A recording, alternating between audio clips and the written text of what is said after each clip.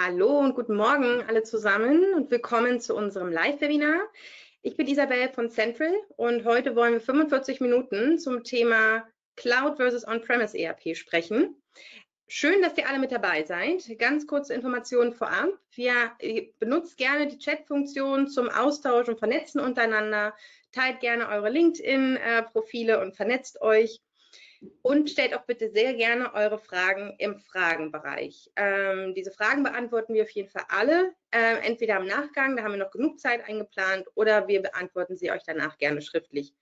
Ihr braucht doch überhaupt nicht groß mitzuschreiben. Ihr bekommt im Anschluss die Aufzeichnung nochmal zugeschickt und auch die Slides. Dann ähm, kann es jetzt losgehen. Ich übergebe an Benedikt und Jörn, eure Hosts, und ich wünsche euch jetzt ganz viel Spaß und Erfolg. Cool, danke dir. Freut mich auch, ähm, heute Jörn und mit euch allen quasi eine Dreiviertelstunde Zeit zu haben, einmal quasi über das Thema ERP Cloud oder ERP On-Prem quasi Vor- und Nachteile zu sprechen. Wir, wir hören die Thematik immer wieder quasi bei ähm, ähm Neukunden, Leute, die Thema haben. Glaube ich, ein mega spannender Punkt. Ich bin Benedikt, Gründer von Xentral. Ähm, genau, ähm, intensiv dabei. Und was Isabella sagte, nutzt wirklich den Chat. Ich versuche auch quasi immer mit, mit auf drauf zu schauen, Fragen zu stellen, dabei zu sagen. Und dann, Jörn, wir kennen uns schon lange, du hast schon viele, viele Systeme gesehen. Das ist mega spannend, deine Insights zu lernen, zu sehen, die typischen Fragen, die typischen ähm, Themen, die aufkommen in solchen Gesprächen, quasi einmal geballt und dir zu bekommen und übergib dir das Wort dann direkt. Ich bleibe im Hintergrund dabei und wenn du quasi durch bist mit deinem wichtigsten Content-Teil, dann schalte ich mich auch wieder dazu, dass wir nochmal ein paar Fragen stellen können und einfach anfangen. Ja, cool, perfekt. Ja, vielen Dank. Ich freue mich auch, hier zu sein. Das ist tatsächlich auch ein Thema, was, äh, was mich immer wieder beschäftigt. Zum einen im Alltag, weil wir es natürlich oft hören einfach äh, von den Kunden, gerade wenn die verunsichert vielleicht von einem vorhandenen System kommen ähm, und auf ein Cloud-System gehen möchten oder überlegen. Ähm, der Titel hier, der ist so ein kleines bisschen äh, der hat so zwei Twists drin, weil diese Unterzeile, das musst du wissen, den kann man einmal lesen mit das musst du wissen. Das ist auch das, was wir heute machen werden. Man könnte ihn auch lesen als das musst du wissen, denn letzten Endes müsst ihr ja die Entscheidung treffen, ob ihr euer ERP oder irgendeine Software eben auf oder abseits der Cloud haben wollt. Ähm, ich sage es gleich vorweg, ich will da keinen Hehl draus machen. Ich bin zwar schon ein bisschen älter, wie man auch ganz gut so an meiner Frisur erkennen kann, aber ich bin trotzdem ein absoluter Cloud-Verfechter. Ich habe auch die anderen Zeiten erlebt, und habe ich da ein paar Beispiele auch aus der Praxis jetzt, die ich immer wieder einstreuen kann. Ähm, ganz kurz, was wir heute machen. Ich hoffe, dass ihr meine Slides auch seht. Ansonsten meldet euch irgendwie zurück. Ähm, ganz kurz will ich euch was sagen über unsere Agentur DigitalXL. Ähm, dann will ich ganz kurz den Unterschied vorstellen zwischen Cloud und On-Premise. Also was bedeutet das eigentlich technisch oder vom Ablauf, von der Struktur her? Äh, und dann habe ich nochmal die Vorteile der Cloud-Nutzung und die Nachteile der Cloud-Nutzung, denn die gibt es natürlich auch. Und zum Schluss noch so einen ganz kleinen Exkurs. Cloud nur für Hipsters, natürlich mit einem zwinkernden, mit einem Augenzwinkern äh, geschrieben. Natürlich ist die Cloud nicht nur für Hipster, aber das ist das, äh, dieser Ruf, der ihr manchmal angedichtet wird. Ja, ganz kurz, was macht DigitalXL? Wir sind äh, eine Ausgründung sozusagen. Äh, viele von uns waren zuvor bei Central. Wir sind eine reine Central-Agentur, also wir beraten äh, E-Commerce, aber auch eben andere Kunden, äh, darin Central einzuführen, machen das seit 2021. Ähm, haben zwei Standorte in Augsburg und in Karlsruhe, ähm, sind über 20 äh, Mitarbeiter inzwischen schon, also das ist auch ein recht starker Wachstum gewesen in den letzten drei Jahren, auch eine spannende Reise, muss ich gestehen. Und wir haben es mal so überschlagen. Ich denke, wir haben alle zusammen so um die 70 Jahre Central-Erfahrung, was bei einem relativ jungen System wie Central natürlich schon ganz schöner Haufen ist. Ähm, das ist so ein Teil des Teams. Bei unserem Sunshine Office-Treffen äh, war das letztes Jahr. Äh, genau, und wir beraten Kunden eigentlich von Beginn an. Und oft kommt dann am Anfang gleich die Frage, was ist denn das mit diesem Cloud-System? Wozu brauche ich denn sowas? Und dann kommt dieser Spruch, den höre ich dann ganz oft, the cloud is just someone else's computer. Und tatsächlich, das stimmt im Grunde auch, denn Cloud ist ein Begriff, äh, der sich letzten Endes aus dieser Zeichnung, aus dieser Wolkenzeichnung ergeben hat, mit der man früher das Internet immer so blumig irgendwie beschrieben und in Zeichnungen oder in Grafiken untergebracht hat. Aber tatsächlich ist es eigentlich genau das. Äh, ein Cloud-Rechner ist einfach oder ein Cloud-Dienst ist einfach zunächst mal ein Computer, der irgendwo steht. Äh, und der Unterschied ist eben, er steht nicht bei euch zu Hause. Jetzt gucken wir uns mal an, wie das aussehen würde, wenn er bei euch zu Hause steht. Also nehmen wir mal Beispiel, äh, beispielhaft an. Ihr gründet jetzt eine Firma. Ihr habt jetzt zum Beispiel äh, einen Online-Shop aufgemacht, ihr habt eure Waren äh, gesourced, ihr habt euch mit den ganzen wichtigen Dingen wie alles Rechtliche, mit dem Online-Shop, mit der Gestaltung, Produktfotos, ihr habt euch mit all dem beschäftigt und jetzt kommt die Frage, wie wickle ich das eigentlich alles ab? Ihr sitzt da irgendwie an eurem Computer und jetzt wollt ihr ein ERP installieren oder nutzen oder was und dann sagt einer, ja, das ist ganz einfach, das installierst du dir einfach zu Hause auf deinem Rechner.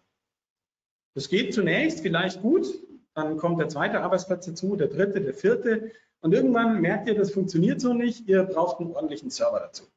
Der wird dann gekauft, der ist auch nicht ganz günstig. Ähm, dann kommt natürlich das Thema Backups. Habt ihr Backups? Müsst ihr auch, kauft ihr euch noch Hardware für Backups? Ja, und eine USV als unterbrechungsfreie Stromversorgung, falls mal was ist, die braucht ihr auf jeden Fall auch noch mit dazu. Und jetzt kommt ihr natürlich auch drauf, dass ihr sagt, ja, ab und an muss da jemand ran, der muss das backuppen, der muss sich kümmern, ja, und das heißt im Endeffekt, irgendwann wird das ganze Setup immer größer und größer. Ihr habt dieses ganze, diese ganze Hardware und dieses ganze äh, Setup bei euch zu Hause im lokalen Netzwerk. Und damit ihr sicher seid, dass da nichts schief geht, macht ihr noch eine schöne Firewall davor, sichert das Ganze ab und vorne dran hängt dann eure Internetleitung. Ja, das kann dann irgendein Modem sein, DSL, was auch immer, ein Kabelanschluss. So, das ist das On-Premise-Setup. Alles da, wo man es braucht. Einfach zu warten, günstig, so das ist das, was man denkt. Jetzt schauen wir uns mal das andere Setup an. Was passiert, wenn ich von Anfang an in die Cloud gehen möchte? Habe ich wieder meinen Rechner. Entschuldigung, äh, ich wollte noch kurz was zum Begriff Cloud und SAS sagen. Ähm, SaaS, also Software as a Service, ist im Grunde nicht synonym zu Cloud, sondern SaaS bedeutet eine Art der, der Softwarebereitstellung. Also das heißt, mit Software as a Service miete ich mir meine Software. Ähm, das heißt, ich benutze sie einfach, ohne mich darum kümmern zu müssen, zahle auf einer monatlichen Basis und nutze die einfach wie eine Dienstleistung. Die Cloud selber ist sozusagen eher die technische Basis dafür, aber ich nutze es jetzt hier, äh, oder wir nutzen das jetzt hier tatsächlich in diesem Vortrag mal synonym. Cloud und SaaS, für uns ist das hier jetzt das Gleiche. Man kann das ein bisschen vergleichen vielleicht mit einem Autoleasing und einem Autokauf. Ja, ob ich mir mein Auto kaufe und nach Hause in die Garage stelle oder ob ich es lease auf einer monatlichen Ebene bezahle und dann irgendwann zurückgebe, wenn es kaputt ist. So, also, wie sieht es beim Cloud-Setup aus? Ich sitze nach wie vor an meinem Schreibtisch, habe da meinen Computer. Ähm, jetzt nehme ich absichtlich auch gleich noch einen Laptop mit dazu und ein Mobiltelefon, um ins Internet zu gehen, weil ich halt auch noch unterwegs bin meine Software, die ist jetzt irgendwo ganz abstrakt in einem Rechenzentrum, das meistens tatsächlich auch einigermaßen so aussieht. Das Rechenzentrum an sich ist geschützt und hat auch ein Interesse daran, geschützt zu sein. Und diese ominöse Cloud ist letztlich meine Internetverbindung. Da gehe ich über eine gesicherte Leitung drauf und greife auf meine Software zu. So ist das Setup, wenn ich das Ganze mit der Cloud mache. Ihr seht, der rechte Bereich hier unten, das ist der Bereich, für den ihr als Unternehmer verantwortlich seid. Ja, der hat sich also deutlich verkleinert jetzt. Da ist nicht mehr viel dran, der ist schick, schlank äh, und auch einfach zu überblicken. Äh, und alles andere habe ich jetzt im Grunde ausgelagert. Jetzt ist natürlich dieses Rechenzentrum hier, das wäre jetzt euer ERP, äh, wer da gehostet. Ähm, das ist natürlich nicht das Einzige. Es gibt noch irgendwie jemanden, der Shops anbietet. Es gibt noch tausend andere. Das sind alles einfach verschiedene Anbieter, die ihre Dienste zur Verfügung stellen. Und ich habe jetzt hier im nächsten Slide habe ich jetzt die äh, jetzt mal ein bisschen anders angeordnet, aber im Grunde ist es genau das Gleiche. Und hier seht ihr jetzt auch, mit was für Online-Diensten ihr dann in eurem Berufsalltag ohnehin schon kommuniziert. Das ist zum einen habt ihr in vielen Fällen einen Online-Shop, der ist irgendwo als Dienst gehostet, im Normalfall, also bei Shopify auf jeden Fall. Dann habt ihr eine Anbindung an euren Carrier, wenn ihr selber den Versand übernehmt. Das heißt, irgendwohin wendet ihr euch, um eure äh, Paketmarken zu bekommen, zum Beispiel oder Retourenlabel zu bekommen. Vielleicht nutzt ihr auch den Fulfiller, macht den Versand gar nicht selber, ja, dann bindet ihr direkt an den Fulfiller an. Auch das passiert natürlich elektronisch und auch der hat irgendwo seine Daten in einem Cloud-Server liegen. Datev betreibt ein eigenes Rechenzentrum. Die ganzen Marktplatzanbindungen, die wir hier stehen haben, zum Beispiel, äh, betreiben eigene Rechenzentren. Äh, oder auch wenn ihr EDI machen wollt, äh, auch dann benutzt ihr ein ein solches, äh, einen solchen Dienst und auch die stellen letztlich ihre Dienste per, per Cloud-Setup zur Verfügung für euch remote und auch für euch auf dieselbe Art und Weise als Software as a Service zu bieten. Im Grunde bewegen wir uns also ohnehin schon genau in so einem Setup, wie es jetzt hier gerade aufgemalt ist. Und dann ist für mich der naheliegende Schritt zu sagen, ja, dann nehme ich mein ERP natürlich auch in die Cloud. Äh, dann habe ich alles an einer Stelle und ich bleibe schlank mit meinen eigenen, also ich bleibe vielleicht persönlich nicht schlank, aber mit meinen eigenen äh, Investitionen, mit meinem eigenen Aufwand, mit meiner eigenen Hardware, da bleibe ich schlank. Da muss ich mich nicht drum kümmern, das übernehmen andere. Und das ist jetzt also das Setup, wenn ich mit einem Cloud-System mich bewege in dem Umfeld, in dem die meisten von uns auch unterwegs sind. Ich habe jetzt eine, äh, eine Reihe von Folien vorbereitet gehabt, die bekommt ihr äh, später zugeschickt. Da ist nochmal so ein Überblick auch drauf. Äh, die habe ich jetzt hier nicht in der Präsentation drin, das wird ein bisschen zu lange dauern, aber fordert gerne die Folien an, dann bekommt ihr dann noch die einzelnen Punkte gegenübergestellt. Ich gehe mit euch jetzt mal Schritt für Schritt durch, wie für mich im Alltag die Cloud den Unterschied macht im Vergleich zu einer On-Premise-Lösung. Zunächst mal, und das finde ich ganz, ganz wichtig, wenn wir ein Cloud-System nutzen, dann läuft das normalerweise im Browser, nicht in irgendeiner nativen Windows-Anwendung oder Mac-Anwendung oder sonst wie, sondern es läuft im Normalfall im Browser. Und das ist ganz wichtig, denn die Generation von Mitarbeitern, die jetzt schon aktiv ist und die jetzt auch kommt, das sind alle Digital Natives, die sind diese Tools gewohnt. Die kennen sich aus damit, die nutzen ihren Browser, die haben ihre Präferenzen, die haben ihre Einstellungen, die haben ihre Shortcuts und ihre kleinen Plugins. Das ist ihre Welt. Die kennen alles, was Sie wissen müssen, so einen einfachen Shortcut wie Steuerung F, um irgendwas über die Seite zu suchen. Das sind alles Dinge, die sind, die sind so selbstverständlich für jeden, der das nativ benutzt und die lassen sich natürlich eins zu eins auch äh, in, einer, in einem ERP wie Central oder so in der Cloud nutzen, weil es letztlich einfach nur eine Browser-Anwendung ist, äh, die da läuft und ich kann mich genau in meinem gewohnten Umfeld bewegen. Für mich noch viel wichtiger, ich bin geräteunabhängig. Es ist mir egal, was für ein Betriebssystem die Leute gerne haben wollen. Ist mir egal, was für ein Endgerät die haben wollen, ob der jetzt einer steht auf Chromebooks, einer will ein MacBook, einer will ein Windows-PC. Im Grunde kann mir das vollkommen egal sein. Das mache ich von anderen Kriterien abhängig. Ähm, denn, und das ist jetzt so ein bisschen der Punkt, das sind so die Alternativen, die ich bei den Betriebssystemen habe. Das ist das Einzige, wo ich mich noch um die Updates kümmern muss jetzt hier. Und wenn ich sage, ich muss mich kümmern, dann meine ich das sogar wörtlich, denn wir als Agentur nutzen natürlich auch Cloud-Dienste, auch unter anderem Central, aber auch andere Cloud-Dienste. Und wir haben hier eine ganz schlanke Hardware. Wir nutzen tatsächlich nur MacBooks. Ähm, die sind einfach zu warten, die sind sicher, die Updates sind sozusagen millionenfach durchgeführt, bevor die irgendwo hinkommen. Da muss ich mich nicht kümmern. Das läuft nebenher. Das können die Mitarbeiter im Grunde autark machen oder ich kann das remote steuern. Das heißt, ich gebe ganz viel sozusagen Verantwortung an den Mitarbeiter ab, weil ich ihm seine gewohnte Umgebung gebe. Ich brauche nicht Schulen, ich brauche, also der, der kommt auch mit neuen Ideen oder mit neuen Tools oder Plugins vielleicht und bringt mehr Produktivität mit, einfach weil er es aus dem Alltag gewohnt ist. Das ist für mich einer der wichtigsten Punkte. Kommen wir zu den Kosten. Auch das ist ein wesentlicher Punkt, wenn ich mir überlege, ob ich in die Cloud gehe oder nicht. Wenn ich in der Cloud bin, habe ich monatliche Kosten für den laufenden Betrieb. Das ist das Argument, was ich ganz oft höre. Ah, wir haben Abo-Modelle hier und Abo da und am Schluss ist alles so schrecklich teuer. Das ist, wenn man es mal über die gesamte Laufzeit äh, betrachtet, natürlich Quark, denn man muss ja auch die Seite sehen, die ich einspare. Äh, und das ist eben genau der Punkt. Ich bezahle in dem Moment, wo ich die Software nutze.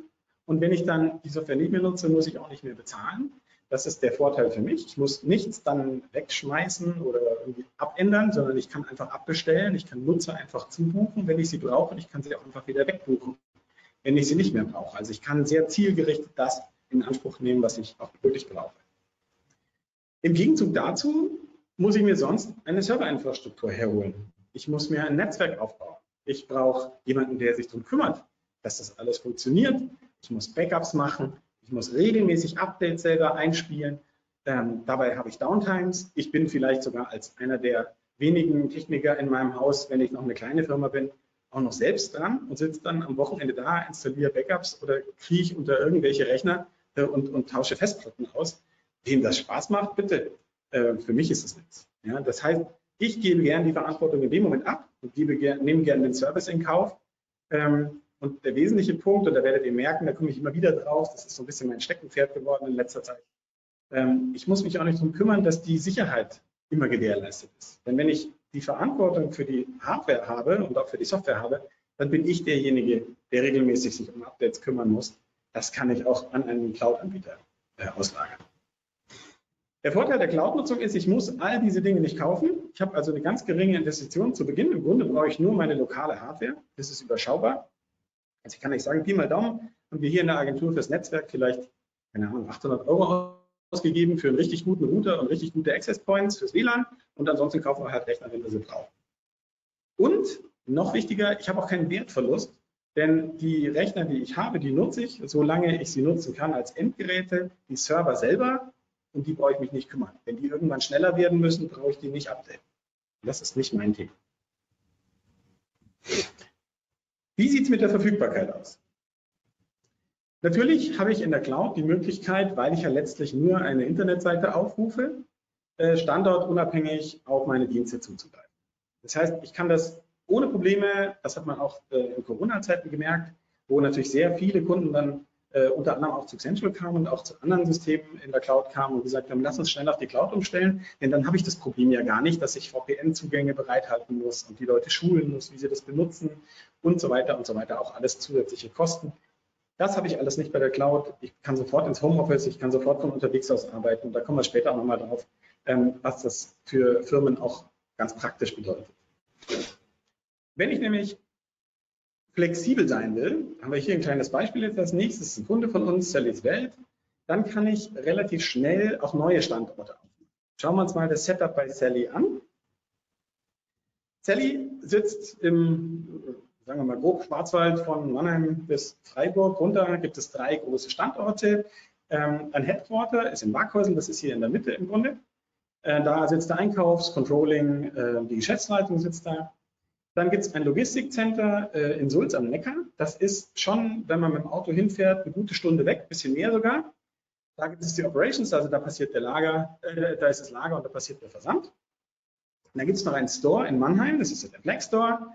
Ähm, das ist so ein ganz übliches Setup eigentlich für eine Firma, die äh, schon ein bisschen größer geworden ist mit der Zeit und eben nicht mehr sofort in der eigenen Umgebung vielleicht auch die entsprechenden größeren Lagerflächen gefunden hat. Was jetzt aber dazu kommt, ist, dass ich auch im Fall von Sally zum Beispiel temporär Outlets, Outlets nutzen möchte. Ich habe Shop-in-Shop-Setups oder ich bin mal in einem Einkaufszentrum für einen Monat oder für drei Monate. Ich gehe mal auf eine Messe. Ja, das sind alles so Dinge, da muss ich auch drauf achten. Da brauche ich auch einen flexiblen Standort. Und ich habe auch noch weitere Beteiligte, die mit im System arbeiten wollen. Jetzt hier ein Beispiel ist es so, dass die, äh, die Buchhaltung vorbereitet wird im Central äh, bei Sallys. Und die Steuerberatungskanzlei prüft und ändert im Zweifelsfall die Vorkontierung auch nochmal im System, spricht das mit den Mitarbeitern durch und danach wird es an Daten übertragen. Das kann man auch anders machen, aber das kann man auch so machen. Ganz nebenbei ist es natürlich noch sehr praktisch, wenn ich jetzt einen Einkauf, äh, Einkaufsmitarbeiter unterwegs habe, der gerade wo auch immer im Ausland ist beim Sourcing und da vielleicht Bestände prüfen will oder schon mal neue Artikeldaten einpflegen möchte ins System, wie gesagt, wenn ich im Homeoffice arbeite, wenn ich Promotion habe, mal für einen Tag vor irgendeinem Einkaufsladen zum Beispiel. Oder auch ganz praktisch für uns als Agentur, wir können natürlich genauso zugreifen. Wir brauchen auch nicht in die lokale Infrastruktur irgendwie einzugreifen oder dort uns einen VPN-Tunnel irgendwie reinzubrechen. Das funktioniert alles einfach damit, dass uns der Kunde einen Zugang auf sein System gibt. Dann können wir da rein, können mitarbeiten, können korrigieren, können eingreifen, wenn das ist. Also hier sieht man ganz praktisch, dass einfach diese Flexibilität, die man hat, wenn man die Hardware nicht bei sich zu Hause hat, dass die ein sehr, sehr großer Punkt ist äh, im, im täglichen Leben, sage ich mal, so im Alltag. Die Skalierbarkeit ist ein weiterer Punkt. Wenn ich bei uns hier skalieren möchte, im Sinne von, ich brauche mehr User, ich brauche mehr Leistung, ich brauche mehr Speicherplatz, ich brauche was auch immer, dann muss ich hier bei mir eigentlich nur neue Endgeräte kaufen. Also jeder Mitarbeiter braucht natürlich ein Endgerät, äh, auf das er zugreifen kann. Da kann ich auch über Mobile Device Management arbeiten und kann mir das sehr einfach machen, so haben wir es eingerichtet. Ähm, aber im Grunde brauche ich einfach nur einen neuen Rechner kaufen und alles andere kann ich dann flexibel in der Cloud machen. Die Cloud-Systeme skalieren im Grunde vollkommen selbstständig auf Anforderungen. Das ist hier natürlich nur plakativ. In Wirklichkeit wird da der Serverschrank nicht aufgeblasen, sondern äh, die Anbieter haben normalerweise virtualisierte Lösungen, in denen sie einfach mehr Ressourcen zubuchen können. Das geht on the fly oder mit einer kleinen Umstellung. Aber wichtig ist für mich, ich brauche das eben nicht machen. Und das ist für mich ein ganz wichtiger Punkt, denn die Alternative bei einem, äh, die Alternative bei einem lokal gehosteten System würde bedeuten, ich muss den Serverschrank aufschrauben, ich muss einen neuen Server reintun, ich muss die Software umziehen, Ich muss vielleicht Festplatten dazu nehmen oder Speicher dazu kaufen. Ich muss hoffen, dass das alles funktioniert. Ja, das ist alles meine Verantwortung, wenn ich diese Skalierung zu Hause vornehmen möchte. Und das habe ich gerne weg. Das ist nicht Teil meines Lebens. Ich möchte mich auf meine Arbeit konzentrieren, auf mein Produkt konzentrieren, auf meine Firma konzentrieren und nicht äh, irgendwie Festplatten rausschrauben müssen. Jetzt kommen wir zu meinem Lieblingsthema so ein bisschen und ihr werdet auch sehen, die Folie wird furchtbar voll. Äh, grafisch passt die nicht mehr leider, aber sie wird furchtbar voll werden. Das ist der Schutz vor Cyberangriffen. Ähm, es ist so, als, als Inhaber oder Geschäftsführer oder einfach als äh, Startup seid ihr verantwortlich für eure Datensicherheit. Ihr seid diejenigen, die letztlich dafür gerade stehen müssen, wenn Kundendaten abhanden kommen, äh, ihr müsst dafür gerade stehen, wenn jemand euch angreift und eure Festplatten verschlüsselt und euch äh, erpresst. Ähm, das ist alles euer Thema und das ist nichts, was man, wofür man gerne die Verantwortung übernehmen möchte. Ich jedenfalls möchte das so weit, wie es geht, abgeben. Äh, ich bin ein bisschen junky, was das angeht, gebe ich zu, aber ich möchte es trotzdem so weit wie möglich abgeben äh, und habe mir deswegen auch mein Setup bereitgelegt und da gehört die Cloud mit dazu. Witzigerweise ist der Datenschutz ganz oft ein Thema gegen Cloud-Anwendungen, aber da komme ich dann nachher. Jetzt geht es nicht um Datenschutz, sondern jetzt geht es zunächst um Angriffe. Und da wünsche ich mir einfach hohe Sicherheitsstandards. Ich wünsche mir eine Verschlüsselung der Kommunikationswege. Ich wünsche mir, dass ich nicht schuld bin, wenn irgendwas passiert ist, dass nicht dieser Single Point of Failure, dass nicht bei mir im Haus irgendwas schiefgelaufen ist. Keine Ahnung, jemand hat einen Stecker rausgezogen, äh, weil er einen Staubsauger einstecken wollte äh, und plötzlich sind alle Server down, der Shop ist weg und nichts funktioniert mehr im Lager. Das will ich nicht sein. Ja, das soll nicht in meiner Verantwortung liegen. Das möchte ich gerne anderen Leuten überlassen. Und das tue ich einfach, indem ich in die Cloud gehe, denn dort habe ich Riesenkonzerne, also in den meisten Fällen ja multinationale Konzerne, die entsprechende Ressourcen haben, die Sicherheitsteams haben, die Backups haben, die, äh, die verschiedene Brandabschnitte haben in ihren Rechenzentren, wo sie die Daten redundant speichern drauf. All diese Dinge, das kann ich ja als Kleiner gar nicht leisten. Das übergebe ich lieber jemandem, der sich wirklich damit auskennt und brauche ich mich nicht drum. Wenn ich sowas im On-Premise-Setup selbst machen möchte, das muss man sich eben am Anfang gut überlegen. Ähm, meine Antwort kennt ihr, aber man muss es sich gut überlegen, denn ich bin abhängig vom Wissen, von der Beständigkeit auch, von der Verfügbarkeit des IT-Systemhauses, was ja irgendwie im Ort um die Ecke ist. Ich sage das so ein bisschen despektierlich, aber ich kenne diese IT-Systemhäuser, die haben so 10, 15 Mitarbeiter, die wechseln auch mal ganz schnell. Äh, kann auch sein, die wechseln mal ihren Standort, weil sie woanders ein größeres Büro brauchen, dann sind sie eben nicht mehr um die Ecke. Kann auch sein, die wechseln ihr Portfolio und landen plötzlich bei einer anderen Software und unterstützen mich gar nicht mehr. Ähm, das ist eine Abhängigkeit, in die begebe ich mich, wenn ich mir nicht mein eigenes IT-Team aufbaue, was das alles irgendwie selbst macht, sich permanent weiter schult, immer auf dem neuesten Stand bleibt das ist ein extrem großer Aufwand, wenn man das wirklich gut und ernsthaft betreiben möchte. Und das ist nichts, was ich einem, weder einem Startup noch einer großen Firma empfehlen möchte. Was noch dazu kommt, ist, im Fall, und er ist hier oben so ein bisschen plakativ dargestellt, im Fall, dass jemand euch von außen angreift und eure Rechner verschlüsselt, und ich sage dieses Beispiel deshalb, weil diese Angriffe für mich in letzter Zeit einfach immer näher kommen, diese Einschläge kommen immer näher. Im Fall, dass sowas passiert, muss ich mich selber um die Forensik kümmern. Ich muss selber mein Backup wiederherstellen, wenn ich eins habe. Ich muss gucken, ob das Backup auch schon befallen ist. Ich muss alles wieder hochfahren. Und dann muss ich mich auch noch mit meinen Kunden beschäftigen, weil die haben ja vielleicht auch Ausfälle oder kriegen ihre, ihre Artikel nicht schnell genug geschickt. Also da bin ich echt fleißig mit Arbeiten beschäftigt. Und das möchte ich mir gerne nicht geben. Genau, wir sind in unserer Welt ohnehin schon mit Online-Tools die ganze Zeit vernetzt. Ihr erinnert euch ähm, an dieses Bild, was ich vorhin hatte. Ich will das jetzt noch ein klein bisschen ergänzen. Denn diese ganzen Cloud-Rechenzentren, die sind alle untereinander mit einer extrem schnellen Leitung verbunden. Die sind alle redundant. Viele von denen liegen sogar in denselben Gebäuden. Ähm, und die sind alle sehr schnell miteinander verbunden. Wenn bei mir zu Hause jetzt was passiert, mein Strom fällt aus, mein Internet fällt aus, weil die Telekom, was weiß ich, mal wieder Lust hatte irgendwo oder ein Baggerfahrer das Kabel rausgerissen hat und meine Infrastruktur verschwindet so ganz langsam, dann läuft das drumherum trotzdem weiter. Und der Shop nimmt trotzdem weiter Aufträge entgegen und der übermittelt die auch weiter an Central. Und Central übermittelt die vielleicht sogar automatisch weiter an meinen Fulfiller, wenn ich die Automatismen nutze, die ich da habe. Ja? Auch EDI bleibt weiter angeschlossen. Meine Marktplätze bleiben weiter angeschlossen. Also all das ist nach wie vor verfügbar und ich kann das weiter nutzen. Und das ist für mich ein wesentlicher Punkt. Das System läuft auch ohne meine Infrastruktur eine gewisse Zeit lang weiter. Und dann kann ich ja gucken, dass ich mich mit dem Handy einlogge, weil das ist der erste Schritt, den ich natürlich mache. Da kriege ich vielleicht nicht gleich alle Mitarbeiter wieder auf einmal äh, ans Arbeiten, aber zumindest langsam aber sicher kann ich die Leute wieder mit dazu holen. Und mit diesen Tools sind wir ohnehin die ganze Zeit vernetzt. Das Wichtigste für uns ist, wenn wir E-Commerce machen, wir wollen in der Hauptsache, dass der Online-Store weiter verkauft, dass dieses Tütchen weiter rausgeht an den Kunden, dass der Support weiter erreichbar ist, dass die Logistik weiter funktioniert, dass wir nicht diejenigen sind, äh, die das irgendwie anhalten. Das ist eben genau der Punkt. Das passiert, wenn ich in der Cloud arbeite.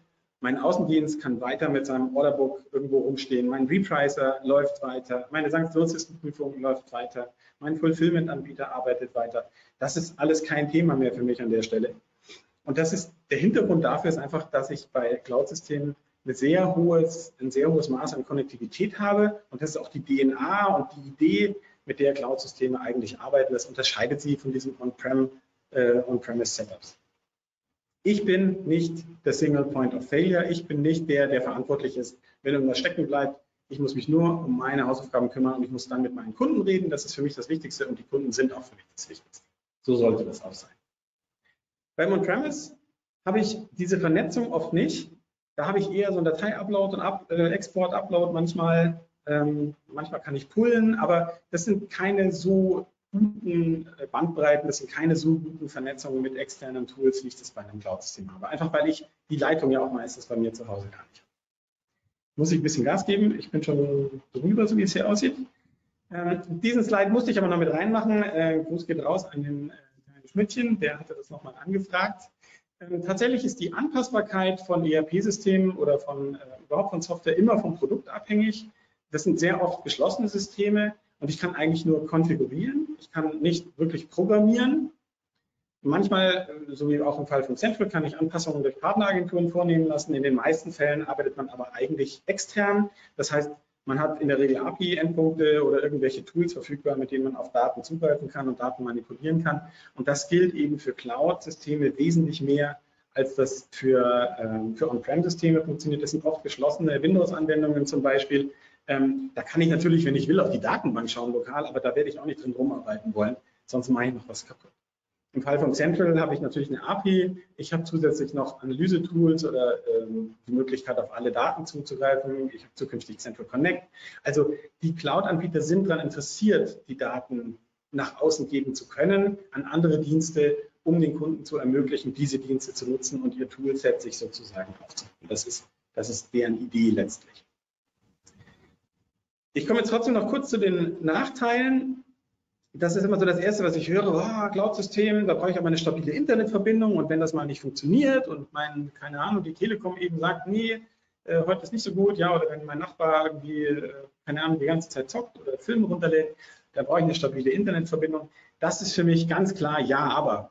Denn natürlich stimmt das, um in einem Cloud-System zu arbeiten, brauche ich eine Internetverbindung aber die muss eigentlich nur ausreichen, um auf Webseiten zu surfen. Mehr muss die eigentlich nicht können. Das heißt, ich rede hier nicht über große Datenmengen. Das zweite Ja aber ist, wenn ich diese Internetverbindung nicht habe, wenn die nicht stabil ist an meinem Standort, dann kann ich auch mit einem lokal gehosteten System nicht arbeiten. Ein lokal gehosteter Shop ist nicht erreichbar. Aus dem Online-Shop kann ich keine Aufträge abrufen. Ich kann mich nicht an DHL oder DPD oder sonst wen wenden, um Paketmarken zu erstellen ich kann keine Aufträge an Fulfillment-Dienstleister schicken. Also was ist das für ein Argument, dass ich sage, ich brauche eine Internetverbindung? Ja klar, die brauche ich immer. Ich handle ja auch im Normalfall mit einem Online-Shop. Also das ist für mich kein Thema. Bei On-Premise-Lösungen habe ich dasselbe Thema. Ich brauche auch externe Geräte über VPN oder externe äh, Dienstleister oder Geräte muss ich anbinden über VPN zum Beispiel. Die brauchen auch stabile Tunnel. Ähm, und ich muss sogar bei einem On-Prem im Up- und Downstream die Daten rein und wieder rausspielen. Da brauche ich sogar mehr Bandbreite. Also das heißt, eigentlich ist das kein Argument gegen die Cloud, sondern es ist ein klassisches Ja, aber, was man mit ein bisschen Wissen und, äh, und Erläuterung auch schnell auswählen kann. Das zweite, das hatte ich ja vorhin schon angekündigt, das war das Thema Datenschutz. Da kommt dann immer gleich, ja, die Daten liegen dann auf irgendwelchen Servern, ich habe da keine Kontrolle drüber und so weiter. Ähm, das stimmt natürlich theoretisch. Praktisch ist es so, alle Cloud-Anbieter, Anbieter, die, die wir nutzen, sitzen in den allermeisten Fällen sitzen sie in Deutschland oder sie sitzen in der EU, also am Beispiel von Central. Ähm, die Central, äh, die Central Cloud ist eine AWS Cloud, die sitzt in Frankfurt am Main. Das heißt, ihr seid innerhalb deutschen Hoheitsgebiets und dann gilt natürlich auch die DSGVO. Ähm, und damit habt ihr das Thema auch wieder abgegeben.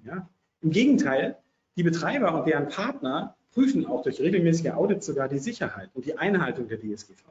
Das heißt, ihr habt eigentlich sogar einen zusätzlichen Schutz, denn ansonsten wäre das wieder in eurer Verantwortung, sich darum zu kümmern. Und das ist ganz wichtig, die Daten werden durch Firmen geschützt, denen die Reputation wichtig ist. Was passiert denn, wenn AWS oder wenn Google oder wenn Apple oder wenn irgendeiner dieser Cloud-Anbieter plötzlich in die Schlagzeilen kommt, weil er unsicher geworden ist? Dann laufen ihm alle Kunden weg. Das ist das Geschäftsmodell. Das ist deren Basis, deren Reputation ist sozusagen ihr Kapital. Und sie werden immer daran arbeiten, dass sie das einhalten. Und deswegen gebe ich auch da lieber die Lösung ab, denn wenn ich on-premise arbeite, bin ich derjenige, der die Unverwundbarkeit sozusagen sicherstellen muss, der die eigene Infrastruktur sicherstellen muss, der all diese Regelungen kennen und einhalten muss. Und ich sage euch, das ist kein Spaß. Ein Nachteil, den die Cloud-Nutzung noch mit sich bringt, und da bin ich auch bald zu Ende, ist tatsächlich das Anbinden von Hardware. In einem On-Premise-System kann ich einfach einen Drucker anbinden, einen Etikettendrucker oder was anbinden. Ähm, das kann ich bei einem Cloud-System nicht. Das ist ganz einfach. Wenn ihr euch vorstellt, ihr habt einen USB-Drucker, den steckt ihr normalerweise einfach an den Rechner an, dann ist das ERP ja nicht auf dem Rechner, sondern das ERP sitzt irgendwo, nehmen wir Central als Beispiel in Frankfurt und ihr seid hier nur am Browser. Das heißt, es funktioniert nicht so ohne weiteres. Natürlich könnt ihr PDFs runterladen und die ausdrucken, aber das wollen wir nicht. Wir wollen ja möglichst automatisiert arbeiten und wir wollen möglichst, dass der Drucker autark einfach die Sachen ausdruckt, wenn sie ankommen. Und da gibt es bei Cloud-Systemen dann einfach Lösungen, die man benutzt. Das ist im Grunde ein kleines Stückchen Software, das nennt sich Spooler. Und mit diesem Spooler, da wird der Drucker dann angeschlossen. Mit diesem Spooler wird regelmäßig geprüft, hast du irgendwas, was ich drucken kann? Und wenn ja, dann wird es sofort ausgedruckt. Und ich habe da auch keine nennenswerte Verzögerung dadurch. Ähm, das funktioniert im Alltag und wir machen das äh, bei allen Kunden und auch alle anderen ERP-Kunden, äh, die also von ERPs, die in der Cloud gehostet sind, haben dieses Problem sozusagen gelöst. Das hört man oft, das ist ein Problem, aber tatsächlich, da gibt es eine Lösung dafür und bei On-Premise-Diensten ist es umgekehrt der Fall. Ja, bei On-Premise-Diensten habe ich zwar vielleicht die Hardware im lokalen Netz, aber dafür habe ich alles andere draußen. Und damit habe ich fast noch das größere Problem. Genau, das ist das letzte, der letzte Slide zu den Nachteilen. Viele, äh, die umstellen wollen, haben das Gefühl, Kontrolle abzugeben. Ähm, ich frage dann immer nach, was ist denn was ist denn eigentlich die Kontrolle, die du bisher gehabt hast? Ja, also ist dein bisheriges System wirklich sicher gewesen? Weißt du das auch wirklich? Hast du das mal probiert? Hast du mal versucht anzugreifen? Hast du mal, äh, hast du mal ein Backup eingespielt? Ja, die meisten sagen, Backups machen wir, aber habt ihr das schon mal eingespielt? Habt ihr diesen Ernstfall mal geübt tatsächlich? Ja, also was ist das für eine Art der Kontrolle, die man da abgibt? Äh, die ist in den meisten Fällen tatsächlich auch nur gefühlt. Was wir auch oft merken, ist, dass natürlich die IT-Systemhäuser oft gegen Cloud- oder SAS-Dienste argumentieren, wobei auch da langsam ein Umdenken eintritt. Äh, nicht, nicht nur deshalb, weil äh, auch Microsoft zum Beispiel mit sämtlichen Office-Tools inzwischen in der Cloud ist, sondern weil einfach alle großen Softwareanbieter in die Cloud gegangen sind. Da fällt es den IT-Systemen schwer, aber damit bricht natürlich ihre Geschäftsbasis weg. Das verstehe ich, ändert für mich aber nichts. Im Alltag möchte ich trotzdem die Vorteile der Cloud mitnehmen. Was wir auch noch oft haben, ist, dass man natürlich, wenn man jetzt gerade wenn man umsteigt von einem alten System, ja, sagen wir mal so ein typischer Umstieg, den wir oft haben, das ist so von der AS400 auf, also von so, einem, von so einer DOS-Oberfläche, wie wir das vielleicht aus dem Möbelhaus kennen, äh, auf ein, auf ein Cloud-System wie Accenture, das ist natürlich ein Schulungsthema. Gerade bei älteren Nutzern ähm, muss man natürlich da ein bisschen vorsichtig sein. Das haben wir immer schon so gehabt. Ja, das ist so das Lieblingsargument. Aber das Problem habe ich natürlich auch, wenn ich eine neue On-Premise-Lösung einführe. Auch da habe ich eine Umgewöhnung. Auch da muss ich schulen. Macht also im Grunde keinen Unterschied, ob Cloud oder On-Prem. Schulen muss ich trotzdem. Und es ist wichtig, dass man das macht und wichtig, dass man den Bedarf sozusagen dafür erkennt und das dann auch ernst nimmt, äh, wenn die Leute damit ein Problem haben. Gerade, und das sage ich auch aus der Erfahrung, gerade in der Buchhaltung ist es oft so, dass da ist, da ist man verantwortlich für die Zahlen, ja, und das ist ganz wichtig. Und da ist man auch nicht so bereit, irgendwie gerne zu wechseln. Und da ist eine große Angst da und das verstehe ich, diese Angst. Und der muss man einfach entgegentreten, muss schulen, muss klar machen, wie funktioniert das, was kommt da hinten raus, wie, wie bedienst du das, ja, wie kannst du es kontrollieren, guckst dir nochmal in Ruhe an, bevor du es übermittelst an deinen Steuerberater, all solche Dinge. Da gibt es ja auch Lösungen dafür. Auch das haben andere schon geschafft. Das kann auch jeder, der jetzt auf ein anderes ERP umsteigt oder ein ERP einführt. Mein Fazit habt ihr rausgehört. Mein Fazit ist, ab in die Cloud. Das ist für mich überhaupt keine Frage. Äh, unsere Firma ist komplett so aufgebaut und ähm, ich bin auch stolz drauf, weil es gut funktioniert, weil wir keine großen Ausfälle haben an Hardware oder sonst irgendwas. Hatten wir noch nie Ausfälle, auch lokal noch nicht, auch von Cloud-Diensten noch nicht. Insofern ist das für mich eigentlich ganz klar. Und vielleicht noch ein allerletzter Slide. Ist das wirklich nur was für E-Commerce-Startups, für diese Hipster? Ja, nein. Überhaupt nicht. Ja?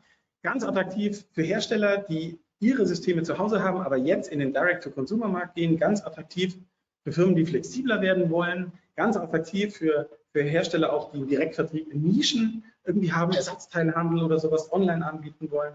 Ganz attraktiv für B2B-Händler, die sagen, Mensch, ich muss doch nicht immer alles per Fax entgegennehmen, kann ich nicht auch einen Online-Shop für meine B2B-Kunden machen oder einen Orderbook meinem Außendienst mitgeben? Dann sagen wir, ja klar, aber dann nimmst du einfach ein ERP dafür und dann kannst du dein Order-Management auch gleich noch automatisieren.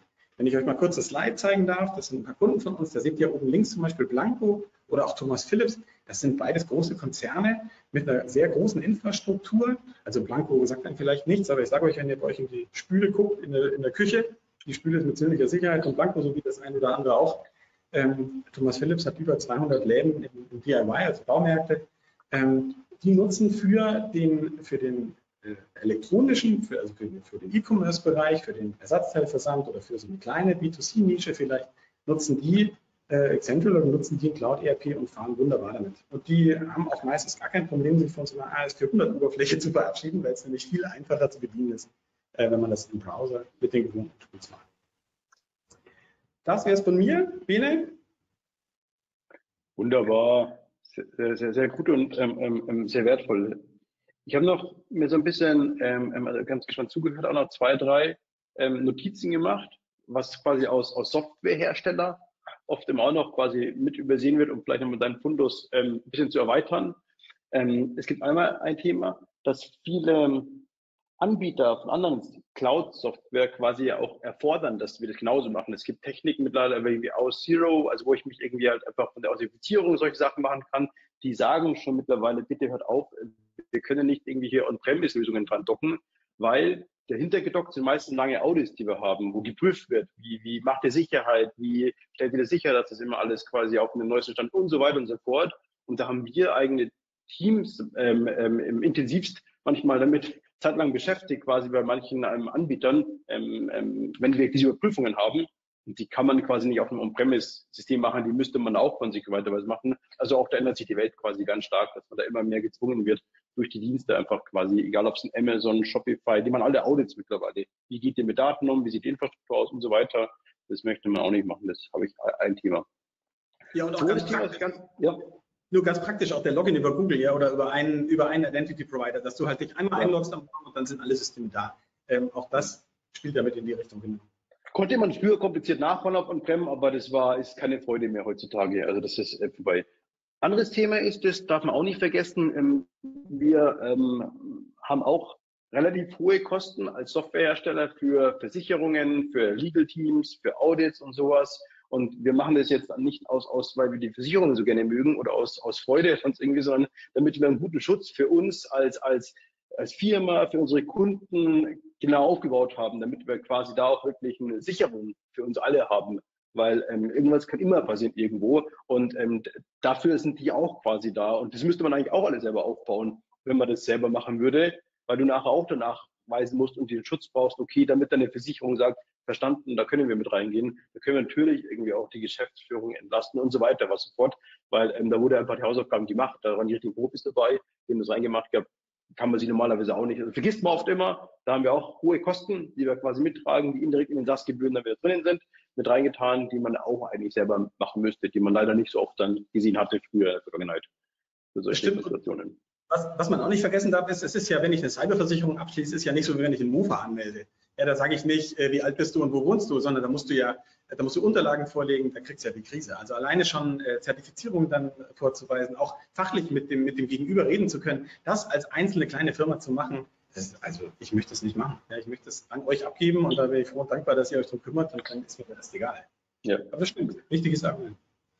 Und drittes Ding ist noch, was ich jetzt auch noch öfter mal schon hatte, war, ist die Frage wegen den Kosten oder wegen Preismodell indirekt mit dem dabei. Ähm, was ist da das Richtige? Wir haben unser Modell zum Beispiel mit lange, lange analysiert und mit vielen, vielen Kunden gesprochen. Also wirklich, ich liebe es mit Kunden zu sprechen, das weiß jeder, der mich kennt, mit vielen Menschen gesprochen. Ähm, und am Schluss haben wir festgestellt, die Rechenleistung ist nicht der User. Also ist ein bisschen egal, ob es jetzt irgendwie 10, 20, 50 User sind.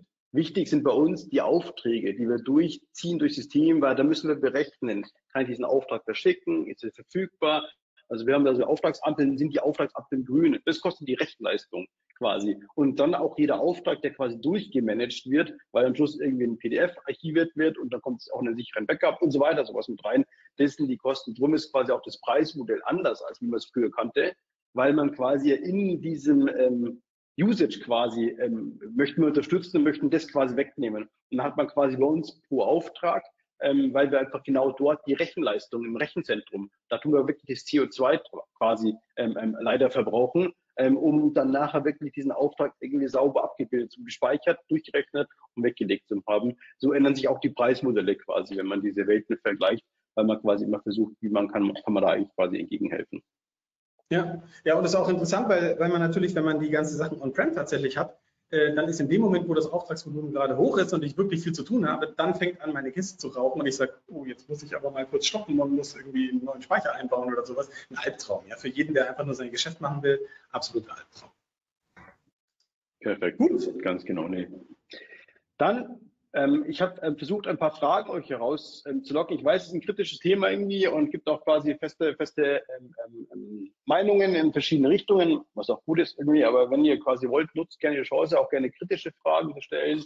Die bringen einem meistens mal weiter im Leben, wenn man da quasi nochmal irgendwie ähm, wachgerüttelt wird oder selber vielleicht eine andere, andere Position besser versteht. Und wenn es auch akut nichts geben sollte, ist eine ganz normal greifbar über die bekannten Kanäle. Ähm, denke, auch Jörn habt ihr die Kontaktdaten. Ähm, und wenn nicht über LinkedIn, ähm, gibt es auch mal einen schnellen Response. Ähm, das Einfachste, um in der modernen Welt quasi mit jemandem Kontakt aufzunehmen. Ich freue mich, dass ihr dabei wart. Danke fürs ähm, dabei sein und wir werden öfter solche Formate wieder machen, quasi ähm, für bestimmte Themen ähm, Partner einladen, ähm, euch die Plattform geben, quasi das Wissen zum Teilen und freue mich, dass wir uns dann nicht bald wiedersehen mit einem anderen spannenden Thema. Gut, dann. Ja, Bis dann. Tschüss. Tschüss.